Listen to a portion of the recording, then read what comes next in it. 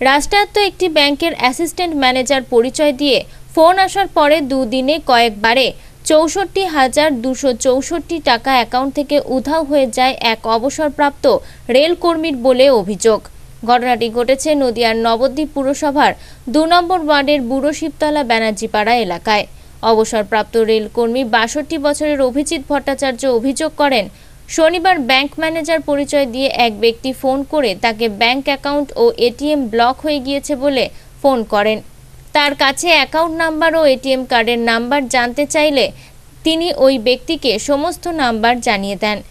এরপর ধাপে ধাপে তার অ্যাকাউন্ট থেকে চৌষট্টি হাজার দুশো চৌষট্টি টাকা উধাও হয়ে যায়।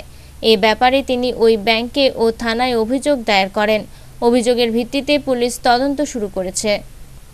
আমার সাথে হয়েছিল কালকে বিকেল চারটে থেকে চারটে দশের মধ্যে আমার কাছে স্টেট ব্যাংকের নাম করে একটা ফোন আসে। কি সাম মণ্ডল টাইটেল ছিল। নামটা আমার এই মুহূর্তে মনে পড়ছে না।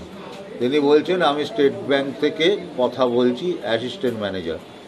আপনার অ্যাকাউন্ট নাম্বার আর এটিএম কার্ড নাম্বার ব্লক আছে।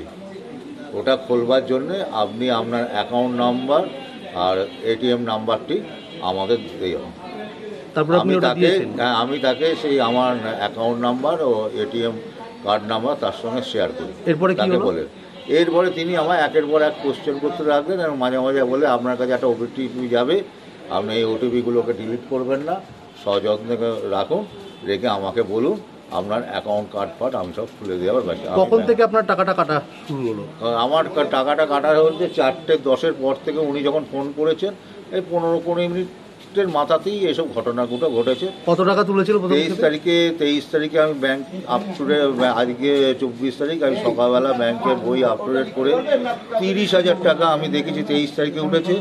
আর আজকে চব্বিশ তারিখ একটা চব্বিশ হাজার দুশো পঁয়ষট্টি টাকা আর দশ হাজার টাকা। তারপর আপনি কি করলেন? হ্যাঁ?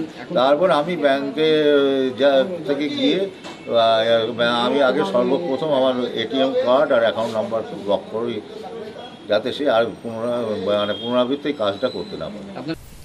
নদিয়া থেকে মাধব দেবনাথের রিপোর্ট, আনন্দ বার্তা।